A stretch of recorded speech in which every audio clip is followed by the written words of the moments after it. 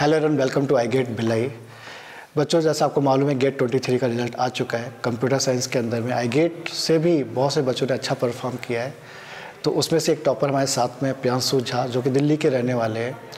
और इनकी जो रैंक है, इस साल 352 है 352 है। और इन्होंने प्री फाइनल ईयर में भी अच्छी रैंक लाया था उन्होंने लास्ट ईयर भी सिक्स सेमेस्टर के अंदर में। 369 रैंक लेके आए थे। चलो इनकी जर्नी के बारे में थोड़ा सा जानते हैं। और देखते हैं कि इन्होंने कैसे प्रिपरेशन किया था, जिससे आप काफ़ी लर्न कर सकते हैं और आप भी अपनी प्रिपरेशन इस तरह से कर सकते हैं कि आप फिर फाइनल ईयर में भी अच्छा रिज़ल्ट ला सकते हैं और फाइनल ईयर में भी आप ट्राई कर सकते हैं। तो प्रियांशु सबसे पहले तो आपको बधाई कि आपकी, आपका जो रैंक है एक अच्छा रैंक आपने तो प्रोड्यूस कर लिया। आप सिक्स में भी एक अच्छा रैंक ला चुके हैं और अभी सेकेंड टाइम फिर से आपने दिया तो आपका रैंक थोड़ा सा इम्प्रूव हुआ है। तो थोड़ा सा अपना बैकग्राउंड बता दीजिए, आपके स्कूल से पढ़े, कहाँ से पढ़े और मम्मी पापा क्या करते हैं? सर मैं जैसे कि सर ने बताया मैं दिल्ली में रहता हूँ एंड uh, मैंने अपनी स्कूलिंग वही दिल्ली में ही की है फ्रॉम मतलब ट्वेल्थ तक एंड देन मैंने जेई दिया था। जेई मेंस क्लियर होने के बाद जेई एडवांस जब मेरा क्लियर नहीं हो पाया तो फिर मैंने वहीं पे एडमिशन ले लिया आईपी यूनिवर्सिटी है दिल्ली में ही। तो वहीं पे फिर मेरा अभी बीटेक चल रहा था तो बीटेक में रहते हुए मेरे को ये तो था कि मेरे को हायर डिग्री परस्यू करना है और किसी अच्छे इंस्टीट्यूट से आई वगैरह से अपनी डिग्री ख़त्म करनी है। कौन बताया था आपको कि गेट के बारे में कि और या पीजी करने से बहुत अच्छा हो जाता है? क्यों ना कोडिंग वोडिंग किए होते? हाँ सर जैसे मैं आपको बताया ना मेरे को एटलीस्ट एक बार तो अपनी पढ़ाई करनी थी ऐसे टॉप इंस्टीट्यूट से जहाँ से लोग बोलते कि अरे आईआईटी में एडमिशन लो। तो मेरा वही वही ड्राइविंग फैक्टर था कि एक बार तो वहाँ से पढ़ना है तो जब जेई में नहीं हुआ तो फिर मेरे को ऑप्शन मतलब जैसे मेरे पापा भी मैकेनिकल इंजीनियर हैं तो मेरे को उनके थ्रू भी पता चला तो मैंने फिर सोचा कि चलो गेट देते हैं।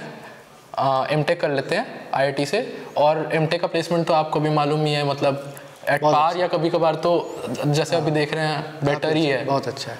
तो फिर सी एस में तो वैसे ही प्लेसमेंट काफ़ी अच्छा है। हाँ, अब एन आई टी में भी प्लेसमेंट बहुत अच्छा है। हम्म, हम्म। ठीक है तो लेकिन आपका तो आई में आराम से हो जाएगा कोई प्रॉब्लम नहीं जाएगी और वहाँ का भी प्लेसमेंट है। और दूसरा कॉन्फिडेंस आता है। ऐसे बड़े कॉलेज हम्म। में जाके पढ़ने से ना एक अलग से एनर्जी भी होती है अलग से कॉन्फिडेंस आता है। और मार्केट में आपको जो वैल्यूज़ मिलती है वैल्यू जो मिलती है वो और नेटवर्क भी बनता है। आपका एलुमिनीज नेटवर्क पूरा चेंज हो जाता है। हम्म। और आपके दोस्त जैसे अभी आई गेट में देखो आपके जैसे पूरा ग्रुप पूरा गैंग आई पहुँच जाएगा। हम्म, हम्म। तो आपके दोस्त सब आई रहेंगे। तो अभी वो फीलिंग अलग ही लेवल की रहती है। क्या लोग साथ में पढ़े थे साथ में मेहनत किए थे आज हम सब। अच्छी जगह पर रहे तो आपने फिर आई गेट को कैसे ढूंढा आपने? उस समय जब आप सिक्स सेमेस्टर में मतलब जब हमको लगता है थर्ड सेमेस्टर में आप यहाँ पे आए थे। हम्म। तो मतलब कैसे फाइंड आउट किया कि आई गेट भी एक इंस्टीट्यूट है? क्योंकि ऑनलाइन में बहुत सारे इंस्टीट्यूट दिखते हैं। और बड़े इंस्टीट्यूट भी ऐसे मतलब शो ऑफ़ करते हैं अपने आप को हम हम्म। बड़े हैं। तो फिर अब आई गेट की तरफ़ क्यों झुकाव दिखा कैसे पता करा आपने? तो सर जैसे मैंने मतलब स्टार्टिंग में ही आपको बताया कि मेरे को जाना तो था एम टेक के लिए तो मैं फ़र्स्ट सेमेस्टर में मतलब ऐसे ही अपने सब्जेक्ट्स गो थ्रू कर रहा था कि कौन कौन से सब्जेक्ट्स हैं गेट एग्ज़ाम में क्या पैटर्न है उसका तो फिर उसके बाद फिर बात है कि अब कहाँ से प्रिपेयर करना है? क्योंकि मेरा स्टार्टिंग से ही मन था कि मैं सेल्फ स्टडी तो उतना मैं नहीं कर पाऊँगा या और भी रीज़न है कि मतलब रिज़ल्ट वगैरह भी जैसे मैं देखता हूँ कि कोचिंग के थ्रू मेरे को पर्सनली लगता है कि मैं कोचिंग के थ्रू अच्छा परफॉर्म करता हूँ। तो फिर मैंने फिर सोचा कि मैं कोचिंग ही करूँगा। एंड देन मतलब उस टाइम पे क्या था, मैं यूट्यूब पे वगैरह ढूंढता था कि कहाँ से कोचिंग की जा सकती है और रिज़ल्ट कहाँ पे कैसा है। तो फिर मेरे को आई के बारे में यूट्यूब से ही पता चला। और फिर मैंने रिज़ल्ट वगैरह देखा कि मतलब कैसा है। तो मतलब सबसे अच्छा रीज़न तो यही था कि मतलब यहाँ पे सारे के सारे आपके अपने स्टूडेंट्स थे। एक भी टेस्ट सीरीज़ के नहीं और कुछ भी नहीं। और मतलब जैसा हम लोग जानते हैं ऑल इंडिया रैंक हंड्रेड के अंदर हर साल ही आते रहते हैं। तो फिर लगा कि नहीं मेरे को यही से कोचिंग करनी है। देन हम लोग कभी भी अभी तक इतने सालों से पढ़ाते आ रहे हैं। कभी भी फेक रिज़ल्ट मतलब नहीं करते अच्छा भी नहीं लगता हमको। अपने अपने अंदर से नहीं हो सकता आप। जो रिज़ल्ट एक्चुअल रिज़ल्ट है क्लासरूम का रिज़ल्ट है, उसको सॉल्व करते हैं। हाँ किसी टेस्ट सीरीज़ का लगाया भी होगा तो मैंने उस पर बाकायदा लिखा हुआ है कि ये टेस्ट सीरीज़ का स्टूडेंट है, हमारा है। तो प्रियांशु आपने जैसे सिक्स सेमेस्टर में था हर बच्चों को रहता है कि आप पी फाइनल ईयर में इतना अच्छा कर लो कि लास्ट नेक्स्ट ईयर नहीं पढ़ूँगा तो भी चल जाएगा। तो कब तक सिलेबस कैसे प्लान करते थे? उस समय लाइव क्लासेस चलती थी आप लोग पूरा लाइव क्लास अटेंड करते थे। और कब तक आप सब्जेक्ट ख़त्म कर लिए थे? कैसे रिविज़न कैसे करते थे आप? फिर कैसे आपने टेस्ट का प्लान किया और टेस्ट कितने दिए? आप कितने नंबर ऑफ़ टेस्ट दिए?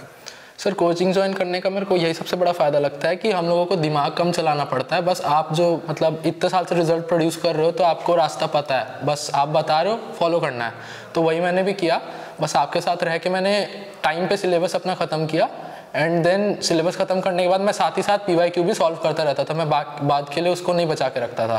क्योंकि आप जैसे कराते थे दो सब्जेक्ट चलता था एक सुबह एक शाम बहुत ईजी रहता था उसको साथ साथ कवर और हमारे टाइम पे क्या था? लॉकडाउन भी था तो कॉलेज का भी थोड़ा सा बर्डन नहीं था। हाँ बर्डन कम था। तो उसके बाद क्या हुआ कि हमने साथ ही साथ अपना सिलेबस ख़त्म किया पी वाई ख़त्म किया और फिर आप बोल रहे थे कि टेस्ट सीरीज़ ज्वाइन करो और दो तीन टेस्ट सीरीज़ ले लो और टेस्ट देना स्टार्ट कर दो। रिवीजन का प्लान कैसे रखते थे? सर रिवीजन का भी सॉरी सर रिवीजन का भी बहुत सिंपल ही था, ज़्यादा कॉम्प्लेक्स नहीं था कि मतलब दो सब्जेक्ट ट्राई करता था कि एक वीक में ख़त्म करूँ। मतलब मेरा ऐसा नहीं रहता था कि कोई, किसी सब्जेक्ट को पेंडिंग रखा है बहुत दिन तक कि अब बाद में रिवाइज करेंगे। मतलब जैसे आज आपकी क्लास हुई तो क्लास में आने से पहले एक बार पुराना गो थ्रू कर लिया। और अगर जैसे सब्जेक्ट पुराना हो गया है तो सैटरडे संडे वीकेंड्स पे थोड़ा सोच लिया कि इस सब्जेक्ट को एक बार रिवाइज करना है। तो टच में रहता था मैं सारे सब्जेक्ट से। आ, कितने नंबर ऑफ़ टेस्ट आपने लिख दिए होंगे उस टाइम में? यदि यदि आपको याद हो सिक्स सेमेस्टर का एग्ज़ाम दे रहे थे। प्री फाइनल ईयर में कितने नंबर ऑफ़ टेस्ट लिख दिए थे? सर टेस्ट तो मैं काफ़ी लिखता था। मेरे को पता था कि मतलब टेस्ट लिखने से ही इंप्रूवमेंट होने वाला है। तो मैंने टेस्ट तो पिछली बार भी फोर्टी टू फोर्टी फाइव के करीब फुल लेंथ टेस्ट सिर्फ़। मॉक टेस्ट हाँ सिर्फ़ मॉक टेस्ट ये इतने लिख चुका था मैं। और इस बार भी क्योंकि इस बार टाइम था तो इस बार थोड़े ज़्यादा ही लिखे थे हमने। मतलब इस बार अगस्त सितंबर के अराउंड से हमने फुल लेंथ टेस्ट स्टार्ट कर दिया तो इस साल जैसे आपने अभी आपका प्री फाइनल ईयर का रिज़ल्ट आ गया और अच्छा रिज़ल्ट आ गया था आपका। थ्री सिक्सटी नाइन रैंक था आपका। तो एक एनर्जी भी आ जाती है। जब मैं इतना मेहनत करके इतना ला सकता हूँ तो मैं टॉप हंड्रेड आपको ज़्यादा दूर नहीं है, पहुँच सकता हूँ, कर सकता हूँ। तो फिर अपनी प्लानिंग में आपने क्या क्या चेंजेस किया और कि मतलब ऐसा क्या मतलब हो गया कि आप वो मतलब जो हमें और अच्छा कर कर लेना चाहिए था, नहीं हो पाया किसी रीज़न से। तो मतलब होता है ना, होता है कभी कभी एग्ज़ाम का दिन भी रहता है या कुछ ऐसा प्रेशर या कुछ, क्या ऐसा हुआ आपके साथ? सर प्रिपरेशन का तो मैं नहीं बोलूँगा। प्रिपरेशन तो मेरे को अपना सेटिस्फाइड हूँ मैं प्रिपरेशन से। मतलब पिछली बार से ज़्यादा ही किया था। मतलब कुछ कुछ वीक सब्जेक्ट्स मेरे को लगे कि शायद मेरे को इस पर दोबारा काम करना चाहिए। तो मैंने स्टैंडर्ड बुक्स भी फॉलो की लगभग सबकी। और रही बात उसकी तो टेस्ट भी दिया था और टेस्ट में मार्क्स भी काफ़ी अच्छे आ रहे थे। मतलब मतलब जिस भी इंस्टीट्यूट का टेस्ट दे रहे थे तो मतलब हमारे ग्रुप का तो ऐसा रहता था कि अगर टॉप टेन की लिस्ट निकलती थी तो हम पाँच छः तो रहते ही थे उसमें। आई गेट के हाँ, रहते थे। हाँ तो उसमें रहते ही थे तो मतलब लोगों को भी पता था कि हाँ हैं ये लोग। पूरी तो, गैंग की। हाँ क्योंकि हम लोगों से और भी इंस्टीट्यूट के लोग कांटेक्ट करते थे तो सबको पता था कि हाँ ये लोग पाँच छः लोग ग्रुप में प्रिपेयर कर रहे हैं तो इसलिए ना इतना कर रहे हैं। बट क्या हुआ सर एग्ज़ाम वाले दिन थोड़ा सा रहता है मतलब उस दिन क्या हुआ ना मेरे को कि शायद मैं कुछ क्वेश्चन में हड़बड़ी किया। उस वजह से जैसे बहुत सिंपल एक डीबीएमएस का क्वेश्चन था। उसमें भी मेरे से थोड़ी सी गलती हो गई। क्वेश्चन पढ़ने में मैं हरी किया थोड़ा। तो उस वजह से थोड़ा सा स्लिप हुआ। बट वही एक मन में था कि बैकअप है। टेंशन लेने वाली कोई बात तो नहीं है। तो इस बार सही चलो कोई दिक्कत नहीं है। ये सबसे आपने जो बात बोली ना कि सर मैं अपने प्रिपरेशन से सेटिस्फाइड था। मैंने अपना हंड्रेड परसेंट दिया। ठीक है ट्राई किया। किसी कहा से थोड़ा सा लेके और अच्छा मतलब नीचे आया होता तो एक बार सोचा जा सकता था, मेरा आपका थोड़ा ऊपर ही आया है। और आपका वैसे भी प्लेस मतलब का अच्छा कॉलेज आपको आईटी जो चाहिए तो सभी आई का प्लेसमेंट सेम ही है लगभग। ऐसा बहुत ज़्यादा ऊँचा नीचा नहीं है। टोटली डिपेंड करता है कि बच्चा वहाँ पे जाके कितनी अच्छी कोडिंग कर रहा है। मतलब आगे आगे भी पढ़ाई तो करना पड़ेगा ना। यदि आपकी रैंक बहुत अच्छी है और आप वहाँ पर जाके अच्छा नहीं पढ़ाई कर रहे, मेहनत नहीं कर रहे कोडिंग नहीं कर रहे तो फिर आपका भी प्लेसमेंट नीचे हो सकता है। तो मतलब तो आपको कॉलेज मिल ही जाएगा। तो आपके जूनियर्स आपको देख रहे हैं, सुन रहे हैं। आप उनको क्या बात दिखाना चाहेंगे, क्या ट्रिप देना चाहेंगे कि जिससे वो अच्छा परफॉर्म करते हुए दिखें? मैं तो बस इतना कहना चाहूँगा कि आपने अगर कोई भी कोचिंग ज्वाइन की है तो आपको आधा काम तो आपका वही हो गया। आप बस अपने मेंटर को फॉलो करो और मतलब मैं बताऊँगा कि गेट एग्ज़ाम एक मतलब इसको क्रैक करना बहुत सिंपल प्रोसेस है। आपको बस कुछ नहीं सिलेबस आपको टाइम पे ख़त्म करना है। हो सके तो आप पी वाई क्यू भी साथ ही ख़त्म कर लो। एंड रही बात, आप टेस्ट सीरीज़ फॉलो करो, वो आपको बहुत इंप्रूव करेगा। क्योंकि आपको लगता है कि आपको कोई चीज़ आती है तो ज़रूरी नहीं है कि आप, आपके हिसाब से आपको लगता है कि आती हो बट आप जब क्वेश्चन सॉल्व करने जाओगे तो आपको पता चलेगा कि रियली में आपको वो टॉपिक आता है कि नहीं।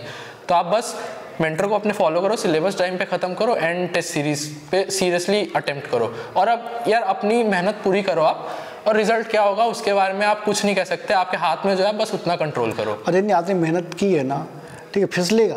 कोई गलती से मतलब फिसलता भी है तो बहुत ज़्यादा नहीं फिसलता है कि आप टॉप हंड्रेड में आने वाले थे अब आप दो हज़ार में चले गए। ऐसा नहीं होता। आज तक मैंने देखा है कि यदि आपने ईमानदारी से मेहनत की है ठीक है हम टॉप टेन के काबिल थे आ सकते थे लेकिन नहीं कर पाए तो 200 में चला जाएगा 300 में चला जाएगा लेकिन 400 500 में नहीं जाएगा। इसलिए आपको अपनी तरफ़ से 100 परसेंट देना चाहिए। जो होगा देखा जाएगा ऐसा सोच के। और आप फ्री माइंड होकर देंगे तो बहुत अच्छा आप प्रोड्यूस कर सकते हैं रिज़ल्ट को। जैसे इन लोगों ने प्रोड्यूस किया। तो प्रयासों आप मतलब फ्यूचर प्लान क्या आपका? मतलब किस तरह से आप अपने आप को आगे बढ़ाना चाहते हैं? सर, मेरा तो मतलब अभी क्लियर है। अभी तो थोड़ा अब आगे की एम टेक जर्नी क्योंकि स्टार्ट करनी है तो उसके लिए थोड़ा प्रिपेयर होना पड़ेगा। अपने सीनियर से आई गेट की, क्योंकि हर आई में तो टच में हूँ सबसे।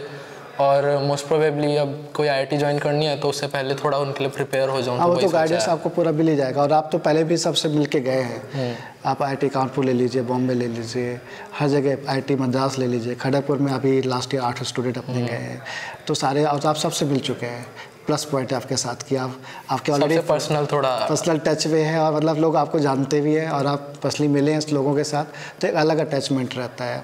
और सबको जब इनको ये पता चलता है कि हमारा जूनियर है और हमारे कोचिंग में पढ़ा हुआ है आई गेट का है तो लोग और अच्छी निगाह से अच्छे बात से मतलब लोग करते हैं। वैसे ऐसा भी कोई स्टूडेंट होगा जो नहीं भी पढ़ा होगा ना उसको भी उनको पता चल जाता है कि आई गेट ने नंबर दिया है उसको भी वो लोग गाइड करते हैं। कभी मतलब डिनाई नहीं करते कि नहीं करूँगा। तो पूरी गाइडेंस आपको मिलेगी। और आप भी जो हमारे आपके जूनियर्स हैं आई गेट के अंदर में आ, उनको भी आप प्रॉपरली गाइड करते रहिए जिससे कि आने वाले वक्त में आपकी तरह वो लोग भी अच्छा परफॉर्म करें चूँकि उनका भी भला हो जाए। तो बच्चों आप लोग भी इससे गाइडेंस ले सकते हैं प्रियांशु से। और किसी को भी कॉन्टैक्ट नंबर चाहिए प्रियांशु का तो आप मुझसे व्हाट्सअप करिए। और या लिंकिन में भी है लिंकिन में भी आप इनको सर्च कर सकते हैं प्रियांशु झा के नाम से। और वहाँ पे कनेक्ट हो सकते हैं आपको कॉन्टेक्ट नंबर चाहिए तो आप मुझसे ले सकते हैं। और इसे बातचीत करिए और खुल के बातचीत करिए। जब आप असली बातचीत करते हैं ना तो और भी बहुत सी चीज़ें आपको पता चलती है अच्छे गाइडेंस मिलते हैं। ठीक है चूँकि वीडियोज़ में सारी चीज़ें बोल पाना एक साथ मुश्किल होता है थोड़ा सा अच्छा हर बच्चे का प्रॉब्लम भी अलग अलग टाइप का होता है। हम्म। ठीक है तो हो सकता है कि वो आपके जो प्रॉब्लम इनके पास सोल्यूशन हो ये सोल्यूशन बता सकते हैं। फिर आप उसको सॉल्व करने के ट्राई कर सकते हैं बच्चों। तो आप लोग लगिए और करिए अच्छे से। प्यासो आपको भी ऑल द बेस्ट कि आपका एडमिशन अच्छी जगह हो जाए और आपके लाइफ ऊंचाइयों को छुए और आगे भी हम लोग कनेक्टेड रहेंगे मिलते रहेंगे और आप आई गेट के जो आपके स्टूडेंट मतलब स्टूडेंट जूनियर्स हैं उनको भी प्रॉपरली गाइड करिए जैसे वो लोग भी अच्छा परफॉर्म करें। Bye bye thank you thank you bye thank you